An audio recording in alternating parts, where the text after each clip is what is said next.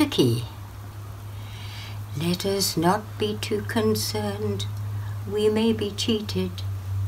Than if we cheat, let the aim for all our striving not be aimed for a higher seat. Let us offer prayers and thanks that we are given enough to eat. Let our principles not cause us to be rigid, but kind and sweet.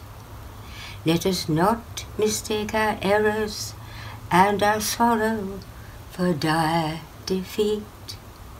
To walk the middle path is not that easy, but hard to beat.